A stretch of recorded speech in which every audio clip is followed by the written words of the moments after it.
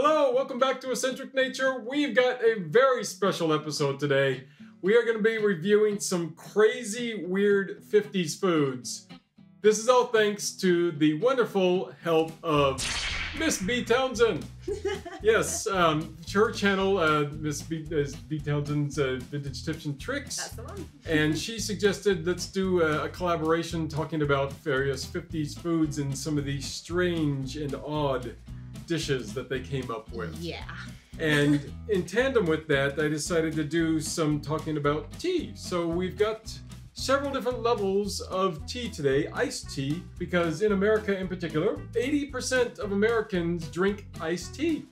And that's still true up to today, apparently. I did some recent research and they were saying how, like, over 80% of Americans still primarily drink iced tea. Part of that all stems back to the history of the tea rooms. Now, if you don't know anything about tea rooms, basically, they started getting established right around the beginning of the 1900s. They actually are part and parcel to the beginning of the suffragette movement oh, and which is very interesting from a historical aspect. It was pretty much the first place, if not one of the first places, where women can actually start their own business or go without having to have a chaperone go with them. Wow. So women could just just go to a location, to one of these tea rooms. So that's why it ended up becoming like a house where women would meet uh, for the suffragette mo- movement, is because women could go there without men accompanying them and talk about things. There you go. The concept of the tea room actually began in the United Kingdom in the late 1800s, and it wasn't until the 1910s where you really see tea rooms start to show up in the United States. And as they grew, you could even find tea rooms in Russia after the Russian Revolution of 1917. Prohibition, in addition to helping fuel America's desire for tea in general, really helped to boost the tea room boom. And by the mid to late 1920s, tea rooms were seen as a national institution. The most amazing aspect of tea rooms is that they were the first common places to be fully staffed and operated by women, oftentimes with women being the primary patrons. During this time, for a woman to be unescorted meant that they were possibly up to naughty or improper activities. Also, before the tea rooms, the restaurant business was seen as a rather nefarious place for a woman to set up shop, and trying to work in one would likely lead to a woman's reputation being tarnished. In the 1930s, the Nancy Drew mysteries were first published. Uh, how is this relevant? Well, in some of the Nancy Drew books, they mention tea rooms, which at the time was code to the reader that Nancy and friends were independent women who could get things done without having a man having to be involved.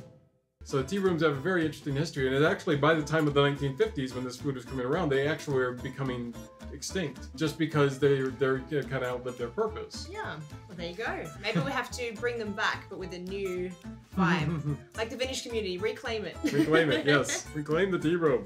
But as far as the iced tea is concerned, I've got three different kinds here today. We're going with the standard unsweetened tea, then we're going to go with a partially sweetened iced tea, and then a full-on southern sweet, sweet tea. So I think there's like an expression as southern as sweet tea, if you've heard that before, and there's other different versions of that. But it's this again is something that's a modern um, microcosms kind of splashed back into history. It didn't really actually take off that way until it started getting mar- more marketed by people until the 18, 1980s and 1990s. Yeah. In the 1950s, people still had the option to go either way. I saw some research about some people talking about their parents or parents talking directly in certain uh, papers saying that, yeah, um, we actually would pre-sweeten our tea and some other people would but then you know other people would say no actually we have it unsweetened and have a thing of sugar on the table and you'd sweeten it to your own level Okay. so i figured okay let's try it on the three levels with having no sugar in there whatsoever. Yep. a little bit of sugar and then lots of sugar. As a lot of people in the south tend to have it nowadays. The first recipe for sweet non-alcoholic tea was in marion Cabell tyree's 1879 cookbook housekeeping in old virginia. And this recipe actually uses a green tea not black which isn't surprising as before world war ii the amount of green tea drunk in the us was equal or greater than black tea The rise of sweet tea is oddly partly in thanks to the Civil Rights Act of 1964. Several historians note that after the 60s, Southerners were in a bit of an identity crisis, having had some of its traditions greatly changed following the civil rights battles. And as a way to assimilate other members of their community, sweet tea became a bit of a rallying point for people to have a safe means of relating to each other. And thus, sweet tea became one of the bedrocks of the New South's identity. Should we start off and yeah, get it going? let's do it. I Camera. want to like try and just get the whole experience in one bite, but it's so massive. It's like It feels like it's four finger sandwiches stuck in one. Yeah. and the slabs are huge. Yeah, not too bad. Yeah. Should we wash it down with some tea? Exactly. Yes. So we are, this is the natural Mm-hmm. black iced tea. This is kind of the posh version. We've got the loose leaf version. Dude, almost always, if you're doing this in the South or doing it in America anywhere, you do it with tea bags. I didn't want to go and just buy tea bags for the purpose of this, unless I actually found the Orange Pekoe, which is the traditional uh, Southern iced tea blend that you would use. Orange Pekoe is really hard to find over here, so so I didn't. Since I couldn't find that, I was like, I'll just use a standard black tea, and we'll go off of that. Because if you don't have the Orange Pekoe, black tea is the way to do your iced tea. I have to say I like the iced tea with the sandwiches. Mhm. I think that's a good combo. Not Yeah. something I would. I think every time I've ever had iced tea, Mm-hmm. I've just had it as like a refreshing drink, the way you would a Coke or something if you were hot and Yeah. out and about. But Mm-hmm. afternoon tea wise, Yeah. it's a winner. Pretty good. So this is actually probably a touch weaker than you would no- normally have. Uh, normally, when you'd be drinking it, it'd be a little bit stronger. I tried to let it brew a little bit longer, but I probably could have even gone longer because it was a loose leaf compared to a tea bag, Okay. and so it's not as strong as it probably would be with a standard one.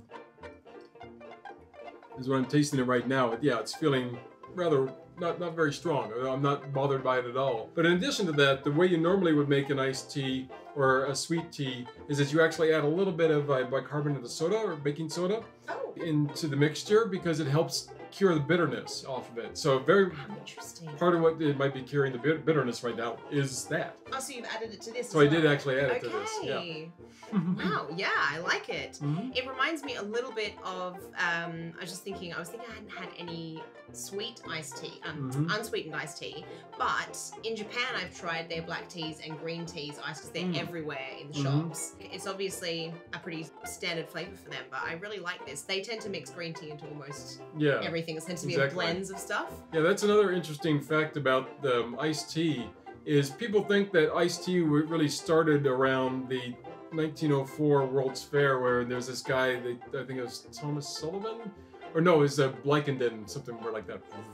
Blackenden. I don't know. Thomas Sullivan's actually the guy who invented the tea bag in 1908. Oh wow. Um, but um, Blackenden was credited with kind of popularizing it at the World's Fair because he was like, "Oh, I've got this hot tea that I want to show everybody," and he's like, "Oh, no one's buying it," so he decided to ice it. Is the whole thing that people said. But actually, before that, in the 1896 World's Fair, there's documentation about another seller actually selling like tons of iced tea. Like I think in the modern conversion said it was like fifty thousand dollars worth of iced tea. So it's like not a small thing, you know. a lot of people have credited him with it, but it's not necessarily true. To give him his credit though, while iced tea may have started a touch earlier, it was thanks to Blechynden that it became popularized, as the heat at the 1904 World's Fair was reportedly very intense. And as Blechynden was giving his tea away for free, many of the fair's 20 million patrons quickly took advantage of it. And after the fair was done, Blechynden went to Bloomingdale's in New York and offered free iced tea to shoppers there, further solidifying its quickly escalating popularity. Iced tea actually started off as boozy. Um, yeah, in the early days, um, before the war, they, they were, it was actually um, all the early recipes included some level of booze in them. Okay, so Yeah. the Long Island iced tea is not a new not um, invention. yeah, not a new invention probably. And it wasn't until after that time when it started getting repopularized by Blackenden and these other guys Mhm. that um, the and actually prohibition Mhm. was another reason that iced tea became very popular in the United States. Um, because they couldn't go to alcohol, so they started going to tea. I wonder if they were like, yeah, I'm drinking tea. Tea, yeah. hey. yeah. So another really cool fact about iced tea is that before World War II, actually, um, consumption of tea in America was about 50% green tea and 50% black tea. And because of the World War, um, people don't quite realize that trade was not only cut off with Japan, but all of China for the most part. So basically, green tea imp- imports stopped. So by the end of the war, 99% of consumption of tea in America was black tea. And then thereafter, basically, Americans kind of just ended up sticking with that until the modern times now, just the last ten, decade or two, when more research has come out on the benefits of green teas and other types of teas, where people have started expanding more into different types of teas. But it's still like over 80%. I think I was as of 2020, it was 84% consumption is still black tea. Officially in 2020, 84% of all tea in America was black tea. And of the 84 billion servings of tea drank, 75 to 80% of it was iced tea. Wow. Yeah. That's so interesting that you know back then I guess it was just green tea and black tea, whereas today Mm-hmm. when I talk to people, people seem to think of green tea as Japanese tea. Yeah. And black tea just as Mhm. tea. Exactly. Yeah. Yeah. hmm But it's like, yeah, that, that all happened because of World War II, and it hasn't really changed since then. It's like you know, almost hundred years later. Wow. Yeah. Bring back the green tea. Well, I mean, they are. They have. That's, like, that's the one benefit of modern research and everything is that they have started getting more of that back in again. So. Yeah, I guess it's also considered. Everyone goes on about the health benefits of green tea, Mhm. Yeah. Mm. Yeah, that and like the more herbal teas are getting more popular as well and starting to take a big part of the market. So, yeah, it is definitely shifting as far as that's concerned. we know where to find out all that information. yeah.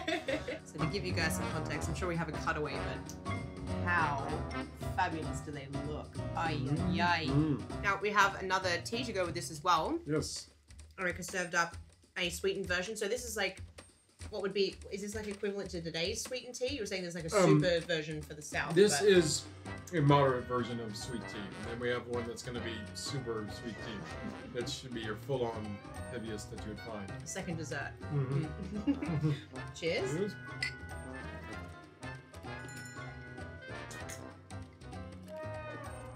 Oh yeah, it's just like Mm-hmm. a little aftertaste. That's quite nice. It Mhm. like balances Yeah. the flavor really well. Still not, yeah, it definitely is like the sugar's not too heavy. I was a little afraid at first, being like, oh, maybe that's to be too much just with the middle one. But it's like, no, now I'm drinking it. I'm like, no, it's not that bad at all, really. Is the lemon flavor only coming from the slice, or is there lemon in there as well? Um, no, I think it's just coming from the slice, the lemon is. And traditionally, you would serve it with a lemon and maybe mint leaves in there. Mm. Yeah, with mint leaves would be lovely. Mm-hmm. I, I like this one. Yeah. We'll see how I go with the sweet one. I'm not a big. I never put sugar in my tea or coffee, so no, I might get converted. It's not as bad as I would have expected. I mean, texture-wise, there's nothing pleasant going on, but flavor-wise, Do I have to have another bite? I mean, I don't know why I'm still got. Hey, I'm what are having like three bites. So we should try some proper sweet tea now. Mm-hmm. In fact, I think in some places that come along in the south, that it's. I'm like trying to see. Actually, there's still some sugar that's already settled at the bottom. Yeah. Um, just to give you how, the idea of how much sugar is in here. This- And yeah, let's just give it a shot. Yeah, let's do it. Cheers. Here's to the end of eating that salad. Oh yeah. Oh, yeah, it's very sweet, huh? Very, very sweet. Yeah, it Yeah. really comes to spirits. I mean, like I said, in a normal one, the tea would be a bit stronger, but this is. I mean, I've had some sweet teas that are definitely this strong in Yeah. the south before. Okay. Um, so this is not unusual. I mean, you can definitely find this kind of a strong sweet tea. The, that's the reason you use tea bags with these is it definitely creates a much stronger base flavor of the black tea than trying to use a loose leaf tea, which unless you're steeping it, I think for twice as long. I only went like you know an extra five minutes, so it's supposed to steep 15 minutes normally with these. I probably got to went 30 to 40 even, and I maybe would have gotten closer to the flavor profile that I would normally have from a sweet tea. So it's usually really dark as well. Yeah, I mean, Yeah. it, you may it may actually look light at the end of the day, but it's going to taste a lot stronger. Okay. Yeah, it's pretty light right now. I think because of the sugar. I do notice too Yeah. that like you, the sugar hits you, and then afterwards it's like a slow tea kind of afterburn. yeah, yeah. exactly. Yeah, you definitely taste this and you're instantly like, yeah, that's a lot of sugar. It's- yeah. With mint leaves though, I think Mhm. they put quite a lot of fresh mint in it. hmm With the sugar, I think would be really nice. Yeah. So that's it for our crazy venture into weird foods. If you haven't seen that video, please do. I'm gonna definitely put a link to it here. And uh, into interesting levels of sweet tea and tea rooms and such. Um, I don't want to drink another round of this because this is super sweet stuff. Um, but please go check out the Miss Bee's channel if you're wanting to learn more about other teas. Watch some of my other videos. But in, otherwise, until next time, you guys take care of each other, be kind, and um, don't put too much sugar in your tea. Cheers.